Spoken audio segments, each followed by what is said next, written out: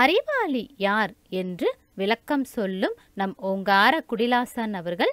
வாங்க என்ன சொல்றாங்கன்னு கேட்கலாம். அறத்தை பற்றி பேசவே தெரியும் இவ்வளவு நேரம் ஆகிவிட்டது. இப்போ பொருள் என்பது எல்லாருக்கும் தெரியும். அந்த பொருள் பொருளை அறப்பணிக்கு செலவு செய்கிறவன் அறிவாளி.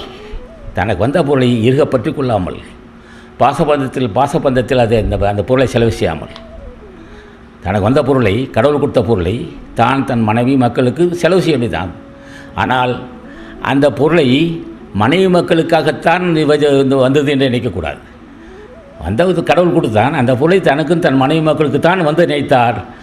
மடையன் அல்ல சுத்த மடையனா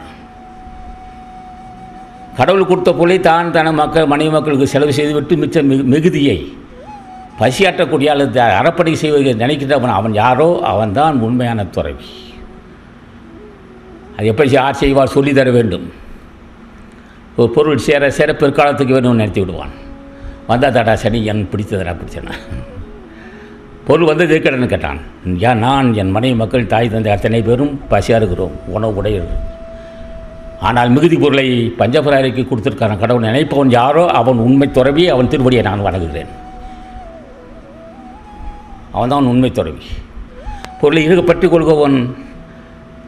எதை செய்கிறான் எதை செஞ்சிட்ருக்கான் கடவுள் தன்மை தெரியாத பொருளின் தன்மை தெரியாதவன் அவன் ஏன்னா பொருள் சேர்ந்துக்கிட்டு இருக்கு ஏன் இருக்கப்பட்டுகிறாய் இந்த பொருள் கடவுள் கொடுத்தது உனக்கும் உன் மனைவி மக்களுக்கு சாப்பிட்ட போக மிச்ச ஏழைகள் செய்யணுன்னாங்க இருக்கப்பட்டு கொண்டால் என்ன செய்வான்? உனக்கு கூட நரகத்தை போட்டுவான்.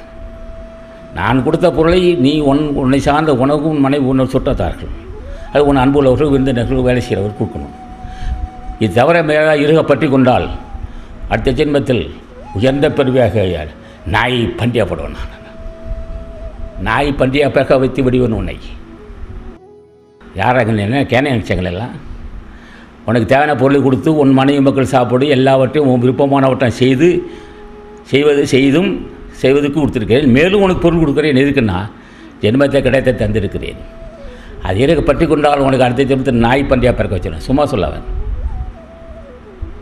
என்னடா அவ்வளோ கொடுமை வேண்டாம் வெளியே தெரியாது. கடவுள் தன்மை யாருக்கும் தெரியாது.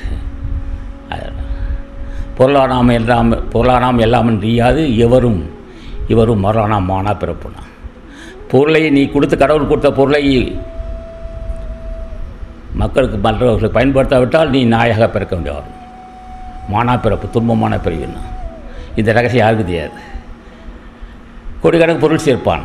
ஏடா சேர்க்குறேன்? உனக்கு கடவுள் கொடுத்தது மக்களுக்கு செய்யறதுக்கு. ஏழை மக்களுக்கு புண்ணியத்தை செய்வதற்காக கொடுத்துருக்கேன். நீ புண்ணியம் செஞ்சு நான் புண்ணியத்துக்கு அனுப்பிச்சிருக்கேன் இருக பற்றி கொண்டால் உனக்கு பண்டி ஜென்மம் தானே வரும். பொருளானாம் எல்லாம் என்று ஆதி வரும். பொருள் ஒன்றே போதும் அது அது ஒன்று பற்றி இருந்தால் எதை நான் செய்வேன் என்று இந்த பொருளை இருகப்பட்டு கொண்டால் ஆசானது அருளுரைகளை தொடர்ந்து கேட்க அரங்கர் டிவிக்கு லைக் பண்ணுங்க சப்ஸ்கிரைப் பண்ணுங்க. மறக்காம பெல் பட்டனையும் கிளிக் பண்ணுங்க.